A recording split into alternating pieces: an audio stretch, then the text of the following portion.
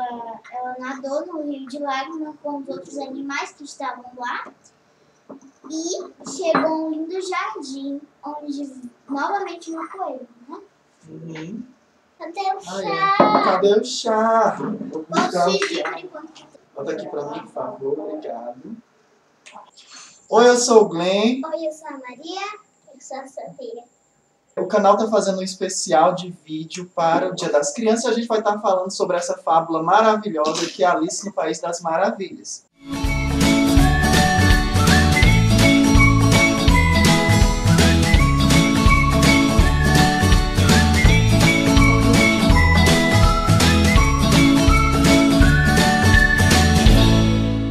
Curiosity often leads to trouble.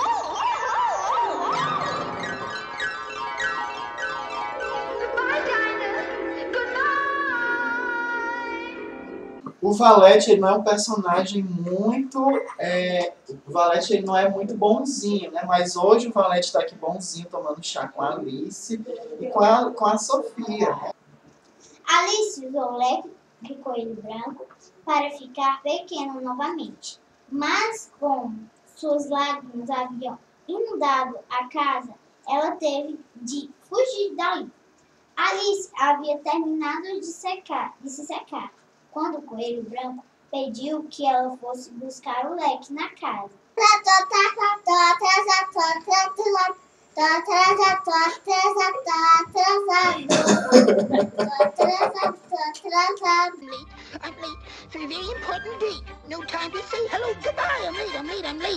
Alice chegou a um jardim onde conheceu o rei e a rainha de copas. Ela jogou Croquet. Com flamingos e até estava se divertindo, mas de repente a rainha se enfureceu com todo mundo. Depois do jogo, Alice foi levada para um julgamento na corte. Durante um julga... Durante o julgamento, Alice tornou-se grande novamente e ficou muito brava. Então começou a gritar com todos os que estavam lá. Vocês não passam de um monte de cartas de baralho. Ao fazer isso, várias cartas começaram a voar em sua direção. Alice acordou gritando novamente no piquenique nos braços das pessoas.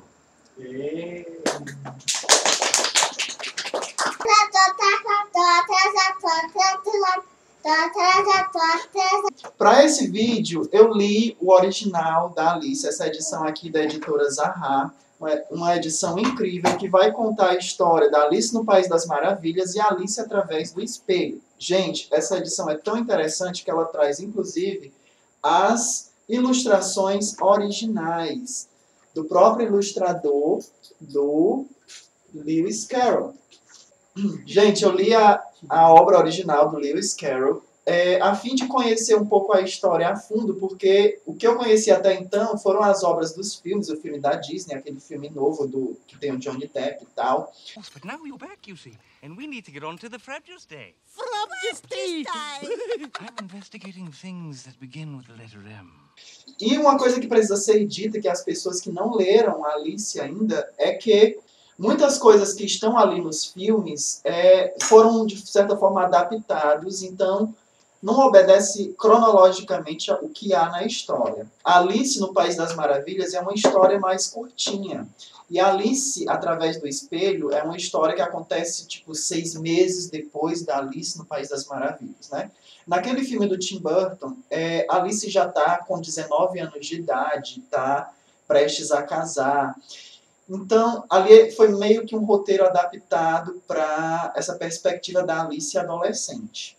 O que acontece também, inclusive, no filme da Disney, aquele de 1963, se eu não me engano. Nessa edição do existem notas do Martin Gardner que ele fala sobre é, a Alice numa perspectiva mais científica.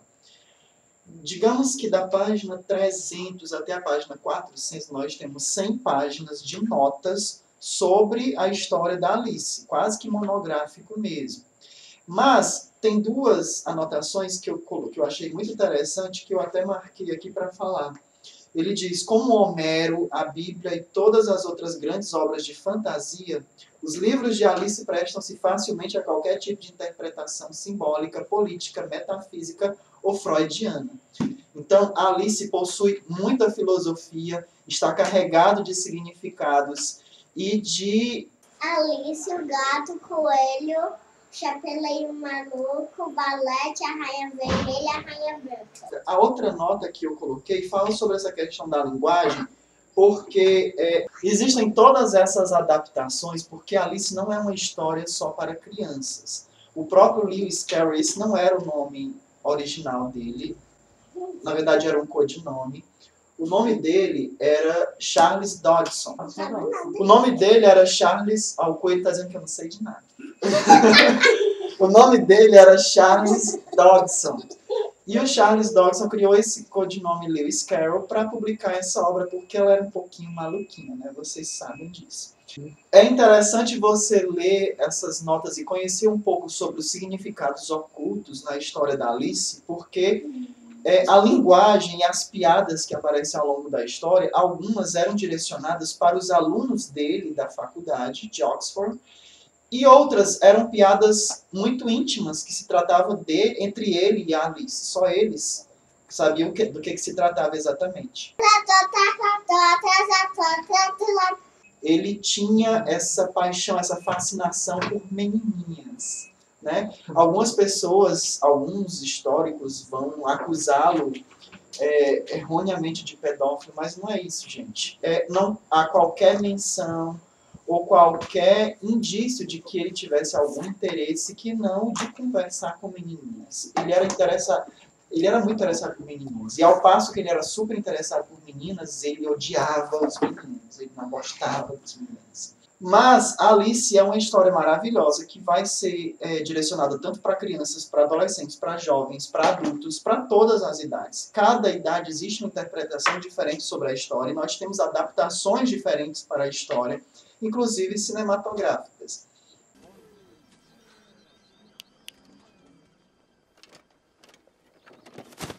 Your Majesty.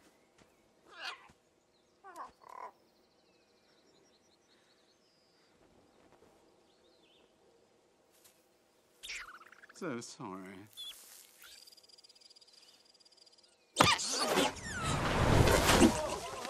Aí foi a guerra, aí ela lutou com um dos dragões dela, o mais forte de todos. Sabe mais que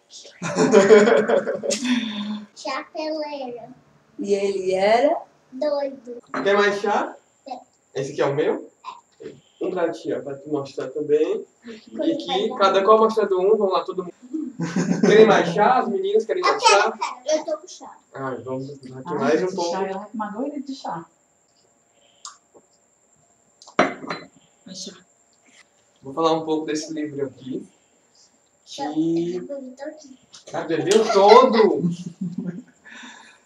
Esse livro aqui é um livro novo que conta uma nova perspectiva sobre o País das Maravilhas e sobre o que, é que acontece com Alice no mundo moderno.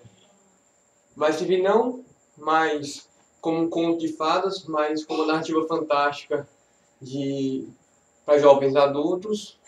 E a nova perspectiva fala sobre uma outra epopeia do País das Maravilhas. Esse aqui foi o livro que a Alice, que a Alice conseguiu quando ela comeu do bolo ou ela comeu do cogumelo. Not all of it.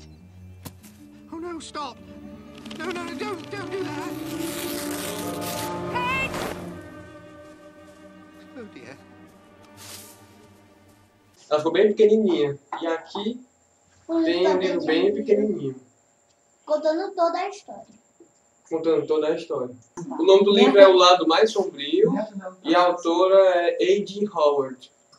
Uma outra vertente do Pai das Maravilhas, versão infantil, também pode ser mostrado na versão mais animada, tipo pop-up. Como é, Alice? Vamos mostrar? Olha só, muito mais divertido, né?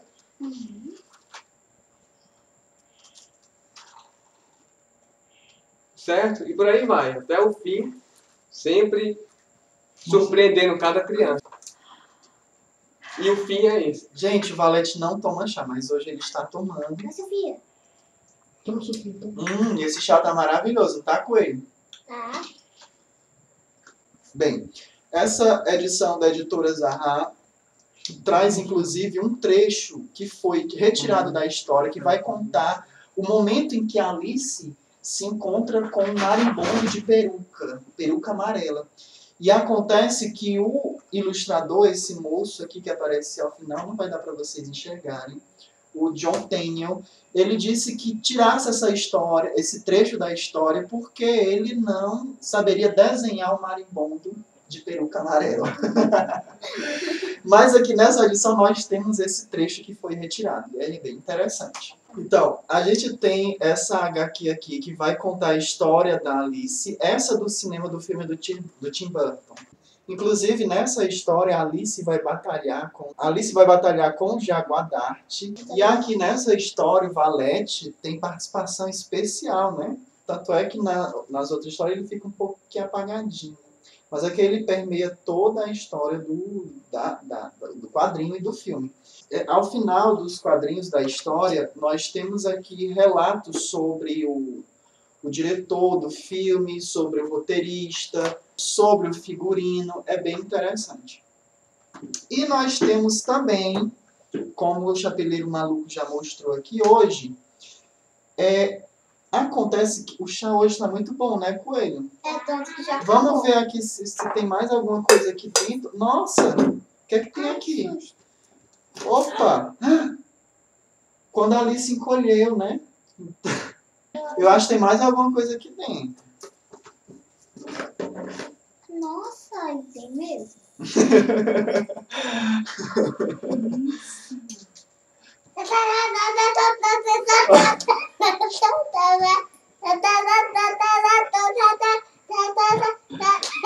Tá bom, Coelho. Tem mais alguma coisa pra me dizer? Tem. Tchau, tchau. Alice, o gato, o coelho, chapeleiro maluco, balete, a rainha vermelha e a rainha branca. E é isso. Se você gostou do vídeo, por favor, dê um like. Se inscreva no canal. Comentários também são bem-vindos. Até o próximo vídeo. Tchau! Tchau! I want to go home. But I can't find my way.